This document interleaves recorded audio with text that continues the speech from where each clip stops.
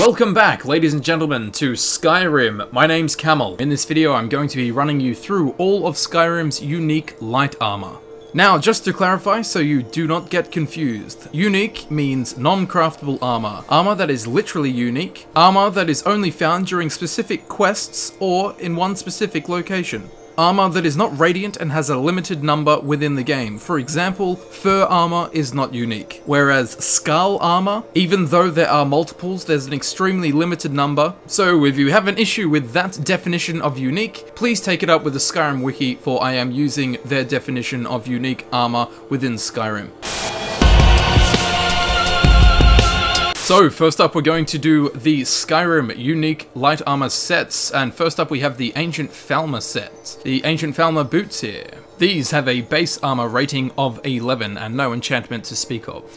Next we have the Ancient Falmer Cuirass, the chest piece. This has a base armor of 38. Next we have the Ancient Falmer Gauntlets. These have a base armor rating of 11. Now there is a Ancient Falmer Crown which is not accessible via normal gameplay. The only way to access this is via console commands. There are people out there claiming to have acquired this without using console commands. These people are full of shit. Next we have the Ancient Shrouded Set. This is the chest piece, the Ancient Shrouded Armor. This has a base armor rating of 33. The enchantment there increases poison resistance by 100%. That is an extremely powerful enchantment if you're facing poison. Next we have the Ancient Shrouded Boots. This has a base armor of 12. Wearer is muffled and moves silently, very useful for those of you who sneak around. Next we have the Ancient Shrouded Cowl. Now this has a base armor rating of 15. Bows do 35% more damage, very useful for those of you who use a bow. Next we have the Ancient Shrouded Gloves. Now this has a base armor rating of 12. Double sneak attack damage with one-handed weapons. If you combine these gloves and their enchantment with certain perks in the one-handed tree, you can basically one-shot people with your daggers. For the next set, we have the set of the Old Gods. Up we have Armor of the Old Gods. This has a base armor rating of 24. Destruction spells cost 15% less to cast. Very useful.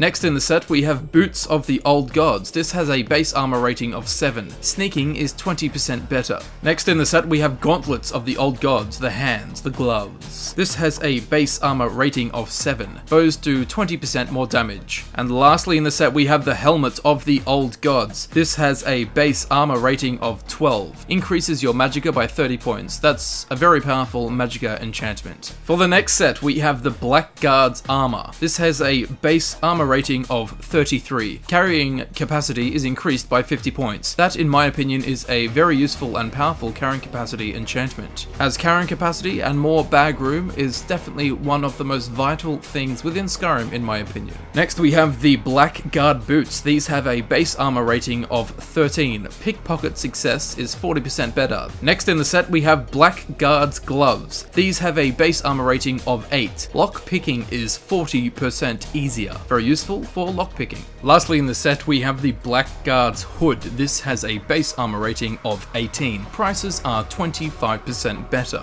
Quite useful when buying and selling items to merchants. For the next set, we have the Deathbrand set. Here we have the Deathbrand armor. This has a base armor rating of 39. Increases your stamina by 15 for each Deathbrand item you wear. So when wearing all four pieces of the Deathbrand armor set, you will have an increased stamina of 60.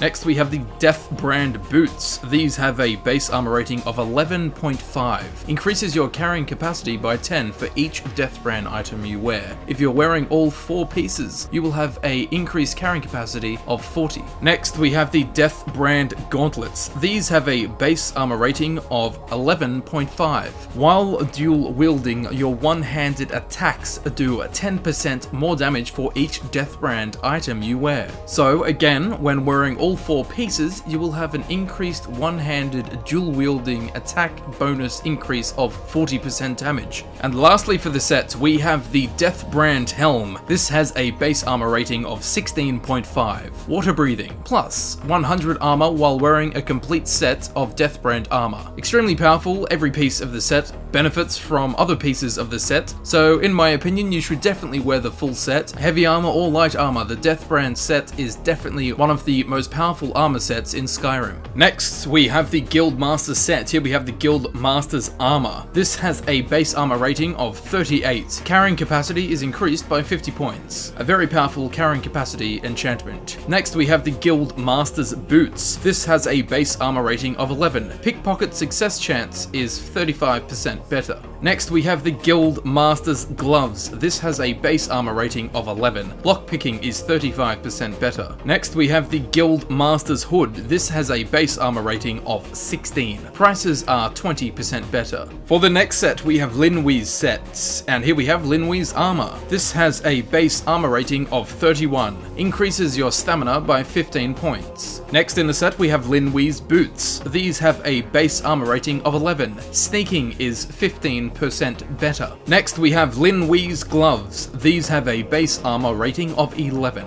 One-handed attacks do 15% more damage. And lastly for Linwe's set we have Linwe's hood. This has a base armor rating of 16 bows do 15% more damage. Next we have Miraak.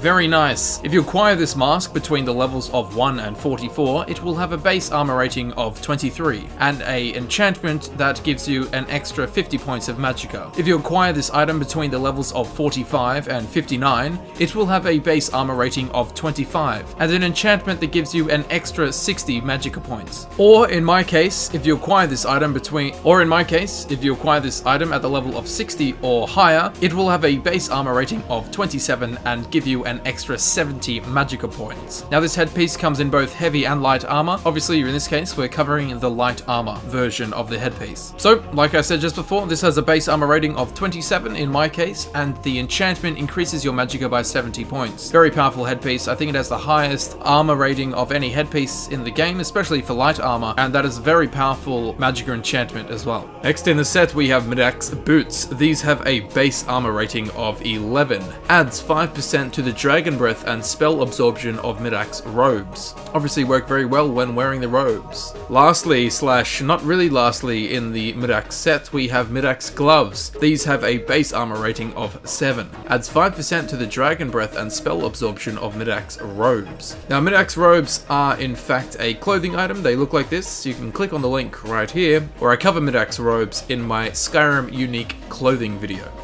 For the next set, we have the Nightingale set, one of my favorites, and here we have the Nightingale armor. This has a base armor rating of 34, increases your stamina by 40 points, increases frost resistance by 50 points. That is a very powerful stamina enchantment and a very handy frost enchantment to have. Next in the set, we have the Nightingale boots. These have a base armor rating of 10. Wearer is muffled and moves silently, very useful for those of you who wish to sneak around. Next in the set we have the Nightingale gloves. These have a base armor rating of 10. Lockpicking is 15% easier. One-handed attacks do 15% more damage. That's quite useful because usually it's one or the other, but to have both is very handy, pun intended. Next we have the Nightingale Hood. This has a base armor rating of 15. Illusion spells cost 12% less to cast. Quite useful when using illusion spells. For the next light armor set we have the Penitus Oculatus set, and here we have the Penitus Oculatus armor. This has a base armor rating of 25 and no enchantment. Next we have the Penitus Oculatus boots. These have a base armor rating of 7. Next we have the Penitus Oculatus braces and these have a base armor rating of 7.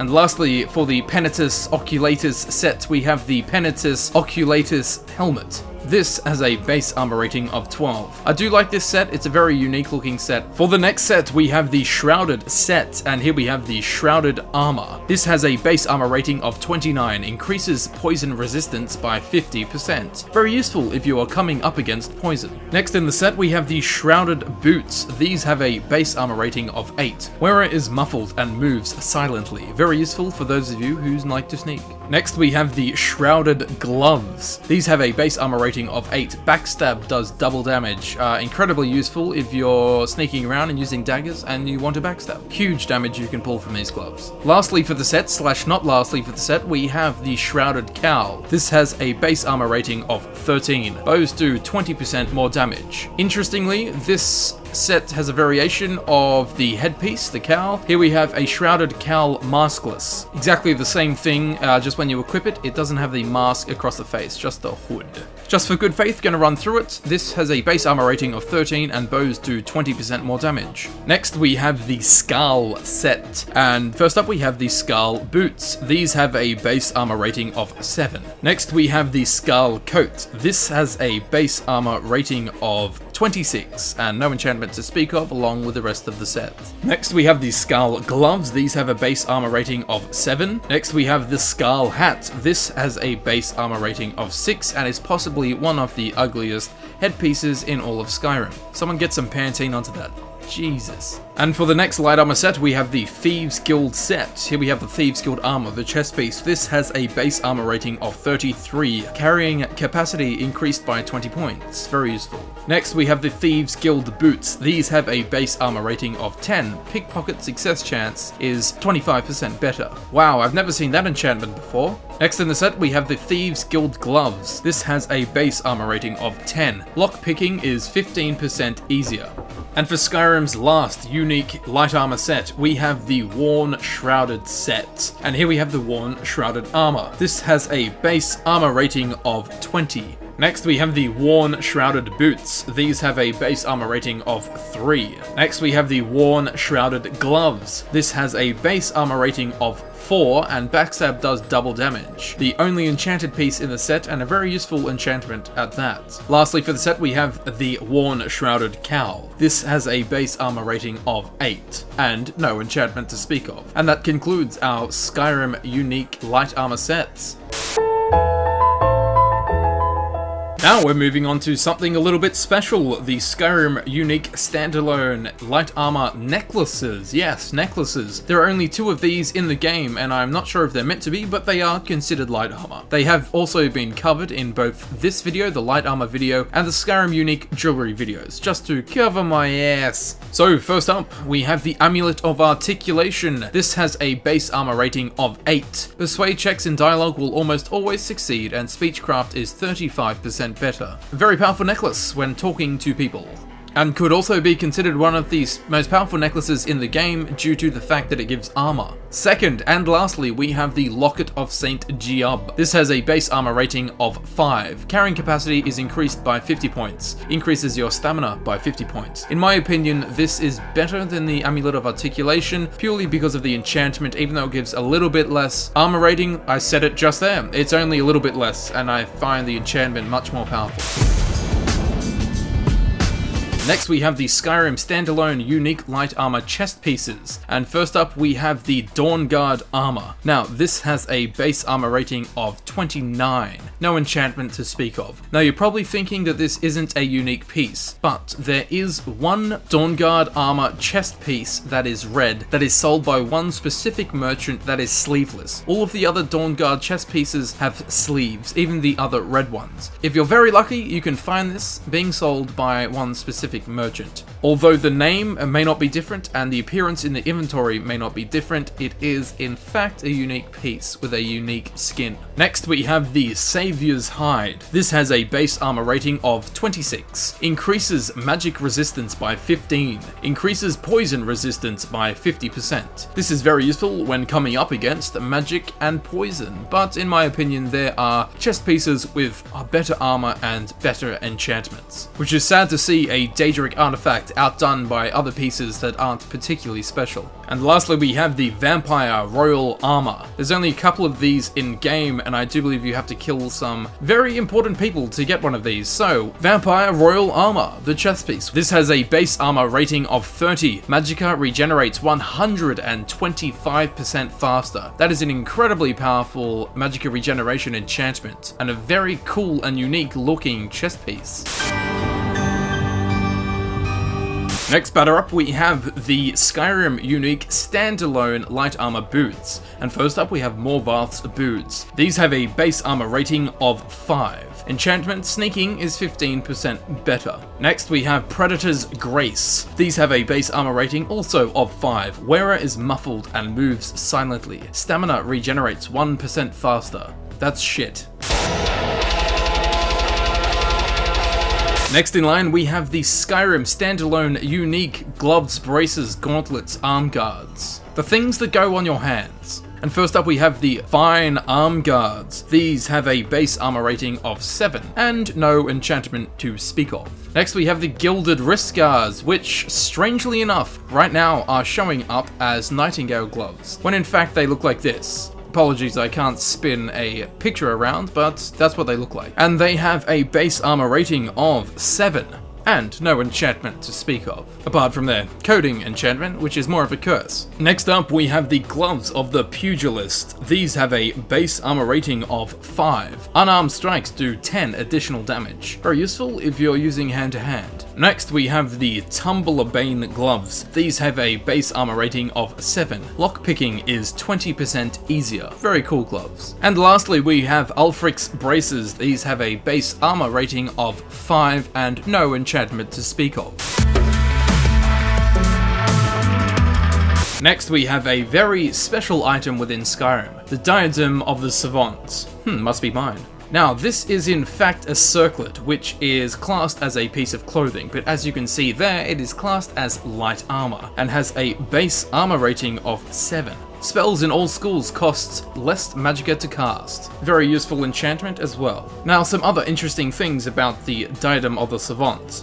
When selling it to a merchant, it is not considered clothing, it is considered light armor. Interestingly though, it does take effect of all armor perks. In the heavy armor tree, it works with the well-fitted perk. In the light armor tree, it works with the custom fit perk. And it also works with the mage armor perk. So it's a very interesting little piece here. This is a bit of a mission to get, but there are in fact two in the game, and the second one was a mistake and just found sitting on a log outside Froki's shack, in case you're wondering. Let's get back to the normal light armor, shall we? And lastly, we have the Skyrim standalone unique light armor headpieces. I would just like to apologize, I have a mod that changes the skin of the masks here. It just makes them look nicer, it doesn't affect the stats at all. And first up, we have Krosis. This has a base armor rating of 21. Lockpicking, archery, and alchemy are 20% better. This is a very, very powerful headpiece, and I do use it a lot when I first start on my little sneaky sneak characters. Next, we have Morokei. This has a base armor rating of 5. It's very low for a Dragon Priest mask. Magicka regenerates 100% faster. That's a very powerful Magicka regeneration enchantment. Next we have Nosta's Helmet. This has a base armor rating of 12 and looks very similar to the Imperial light armor helmets, and it has no enchantment to speak of. Next we have Volsung. This has a base armor rating of 21. Prices are 20% better, carry 20 points more, and can breathe underwater. This is a very useful mask to have just for the breathing underwater enchantment. The carrying 20 points more is again very useful, and prices are 20% better. Even if you don't wear this mask, most of the time I think it's very useful to keep in your inventory just for these specific situations and lastly, and very disappointingly, we have the Wooden Mask. This has a base armor rating of 2. The Wooden Mask hums with an unfamiliar energy. This is very useless for a player to wear, but it is vital in gaining the heavy armor mask Konahrik. So in that sense, it's useful. And that concludes our Skyrim Unique Light Armors. If you are interested and curious about other Skyrim unique items and spells, feel free to click one of the links on screen. If that's way too intense for you, the links are also in the description. If you like this video, please leave a like. Don't forget to share this video amongst your family and friends. If you think I left any items out, please let me know in the comments below. Also, let me know which items you use, why you think they're good, or why you think a certain item isn't good and overrated. Perhaps you'll change my opinion on one or two. And if you did enjoy this video and you would like to see more videos similar to this one or on similar topics, please subscribe. It helps me know that people are interested in these type of videos. I'm going to leave you now and allow you to click on one of the links on the screen because by golly god gosh, I know you want to. I'd like to thank you very much for watching and I will see you in the next video. I'll see you there.